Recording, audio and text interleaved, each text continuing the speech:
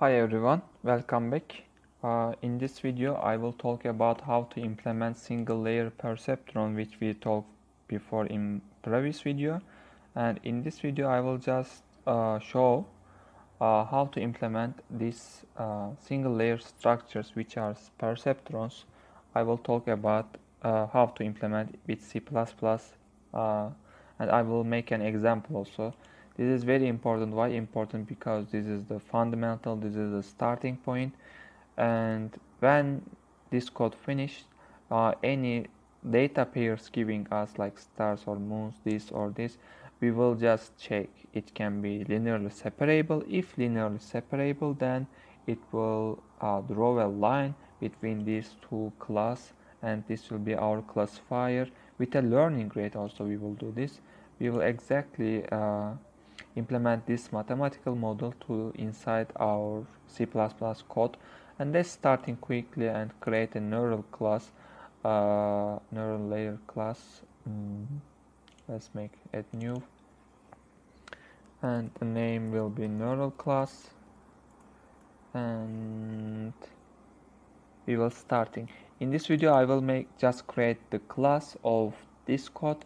And in the next video I will implement add all I will finish and the people are watching now maybe if they don't want to buy, one by checking they can directly go and take the code from the github.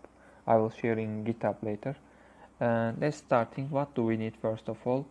Mm, we need uh, as a starting we need uh, our x1 w1 w2 w3 bias learning rate also we need. Let's implement at all. First of all let's say weights initialize weights weights weights let's say uh, initialize the weights yeah. The weights okay. I will call them as a double type which is w1 is equal to let's start initialize with the 0 and w2 also this one. And double w3 is also 0 0.0 and we will have a learning rate which we will use later. And let's also define this as an nl is equal to s starting with 0 0.2 we can play later about this. And we will have a bias let's call this as bias is equal to 1 um, we also need uh, as we check here our data pairs and corresponding to this one target values we need which as a uh, which as an input to our neural network. For this maybe we should define some libraries vector and also we will need probably math function. We will also need probably iostream for see the results. And let's starting with inputs. Let's make it comment first inputs. Um, I will make it as a matrix and okay which one this will be. Uh, let's say inputs. And I will define. Uh, in here I will write our data pairs which are how to say this x1 and x2 right? And these are will be our class um, inputs. One class uh, the say in this for example in this graphs this will be x and x2 x1 and x2 and in this model these x1 and x2 also means that. So in here I will write that one. Also I will write the targets.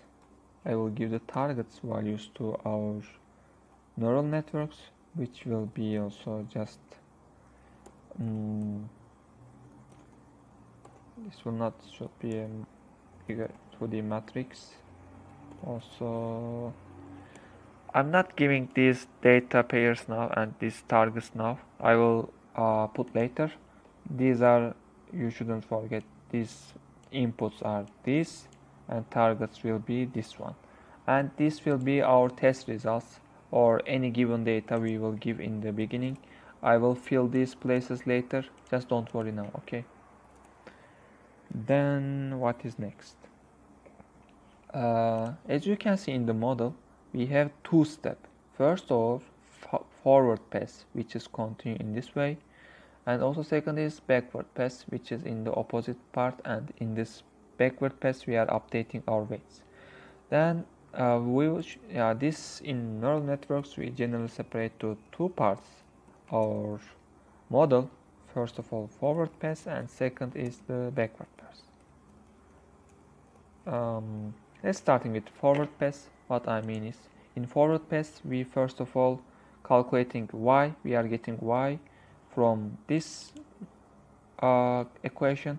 And after taking y this is input of sigmoid function our sigmoid function which I chose this one as our sigmoid one. And then we will as an output of the sigmoid we are getting that to decide the threshold and we are getting the output this is forward. Let's do this starting from this part. And okay. Let's calling this as a function get y. And this get y will take first of all double x1 which is first input data pair. And x2 what does it needs? And nothing else. Okay this will take this one this one w1 already known already known already known already known and calculating y. Okay this is first function. Second function will be sigmoid function. And let's call it sigmoid func. And what this will one this one takes? This one only takes the output of the get y which is y. Okay. And we also get this one y enter sigmoid and get the output of sigmoid. After output of sigmoid we will take the decide the threshold. And this will be threshold threshold out. And this will get output of the sigmoid. Okay. Forward pass down. Now we will uh, implement the backward pass.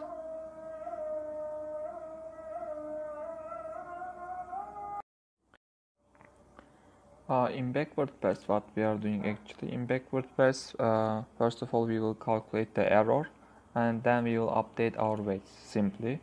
Then it means we need to do two things. First of all, uh, double get error, which is the easy one, just taking the target and also taking the result which we get. Then after that we will update our weights. Um, let's call it update weights. And what this one will take is you can check from the model again. Uh, we know W's which are weights we know learning rates. Uh, we only need x1 x2 and error. X3 also which is uh, bias we also know. And let's continue. Double x1 double x2 we need which are data pairs our data pairs and we also need error which we get from this part. Okay it all looks like done. Then let's pass on the code part at all sigmoid okay.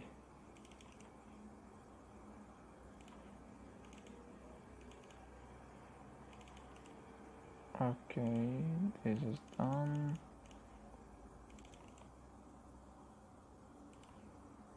Okay it's all done uh, when our class is called let's write neural class is called. Okay. Why my computer slow? I don't know. It will be coming slow. Whatever. How to get why we will just implement this one. Let's do it quickly and return.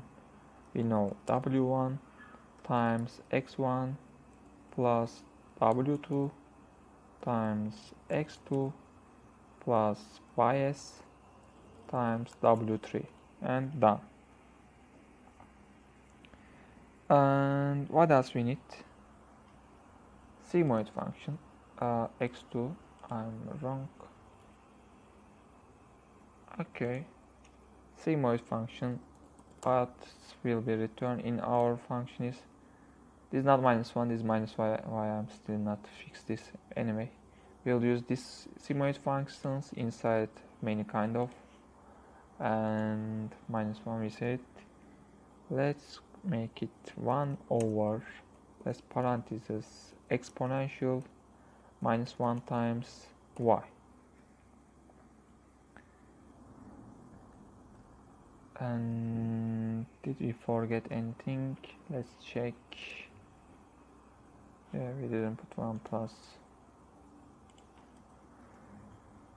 Okay then threshold out.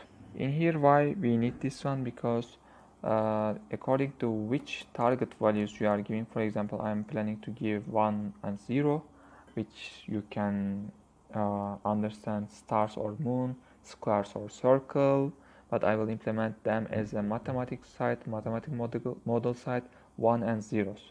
And between them the middle point of 1 and 0 is 0.5 so I will simply check if the out of this uh, sigmoid function is uh, smaller than 0.5 then I will make it 0 rounded you can think like rounded.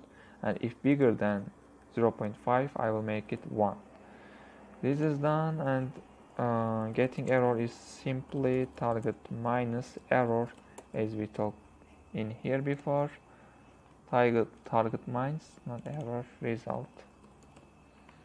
And how to update weights? Uh, we will again I'm passing again and again. We will update this one.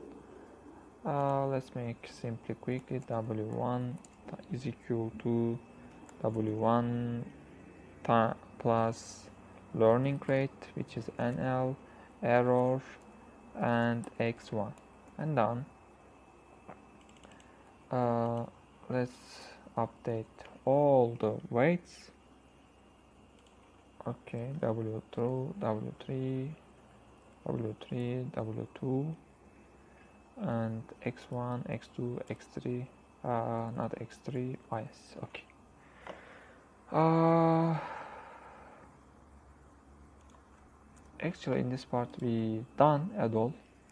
Uh, we are implemented all these things as a class uh, in the next video I will show step by step in our main CP part how to use these functions, how to implement this model. Uh, in this one we don't need double actually because this no need to return anything.